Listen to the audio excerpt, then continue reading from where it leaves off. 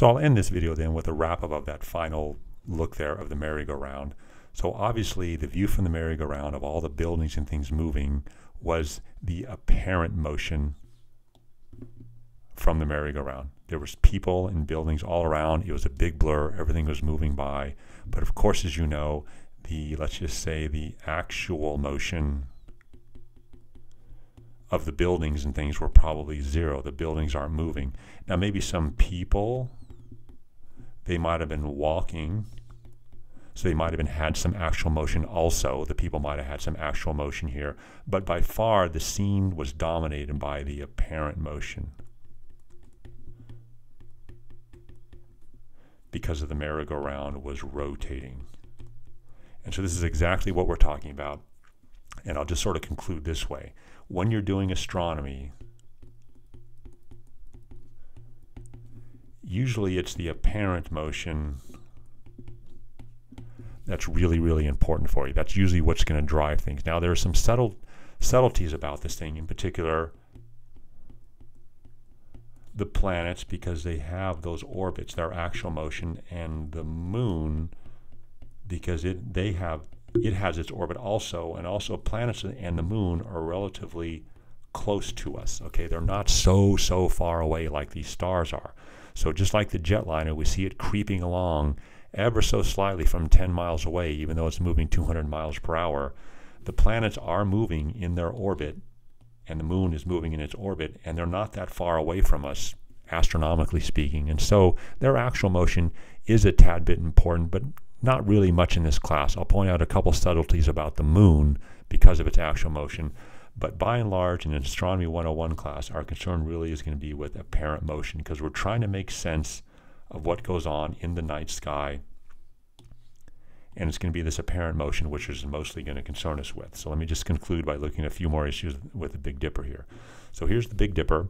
And as we know now, these stars in the Big Dipper are actually moving. Of course they are. I really doubt they're still, but they're so far away, the actual motion is going to be very, very small. And so what we see as the Big Dipper rotates around the pole star like this, gets all the way up here, and it can be upside down or right side up, or maybe it can be over, sort of even over here on the side or way over here. That's not due to the Big Dipper's actual motion.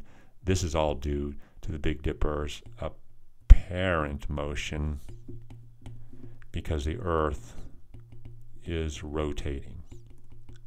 See, so that's what mostly concerns us with astronomy. Where's the Big Dipper? Oh, it's down. Oh, it's up. That's because the Earth's rotation, not because the Big Dipper stars are actually moving. And so this, once again, is probably the best analogy also I can think of, is if you can imagine the sky sort of painted on the inside of an umbrella. Here's the Big Dipper, here's Cassiopeia. The pole star would be right where the handle of the umbrella connects to the canvas of the umbrella. And so in here, you see it over here too. As you would take this umbrella and rotate it like this, you'll see the sky moving. So the Big Dipper's here, now it's down here, now it's down here, now it's down here. It just keeps going around and around. And this is sort of an analogy of the Earth's rotation.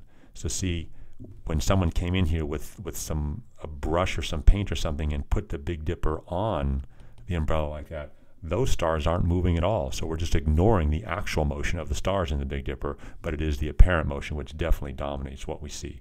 So again, you can go outside and look at something like this on the rotating Earth, and the Earth is rotating very slowly. You'd have to come out an hour or two, I would say, before, say, you'd see this star right here sort of having moved over to there again. Apparent motion. If the Earth was not rotating and you were staring at this view for hundreds of thousands of years, maybe then you would start to see a little bit of motion of the stars. But, you know, just forget about it, okay? The Earth would have to rotate for you to see this field of view move at all. And the most famous example that the Earth is rotating is something that you can just draw from astrophotography, which is something like this.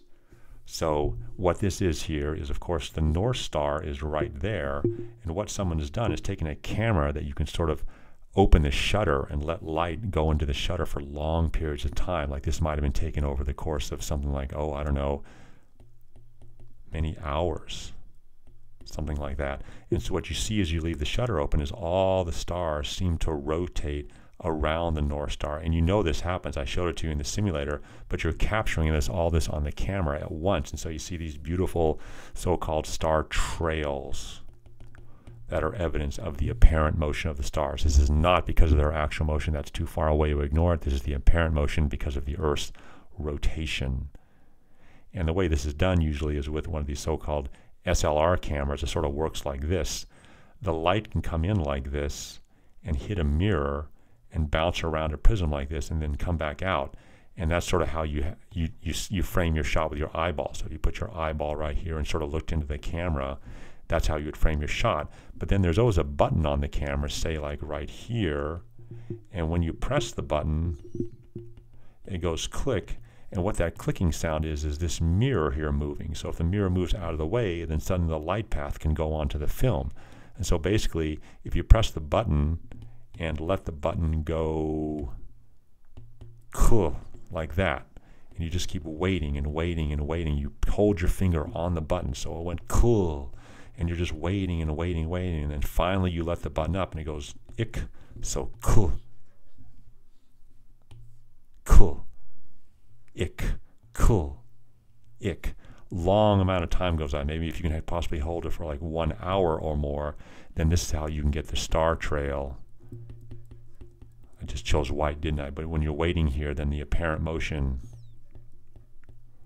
can sort of take over and you'll get those star trails. So it sort of takes a particular type of camera to do that, but it's definitely a fun thing to do if you can pull off a shot like that.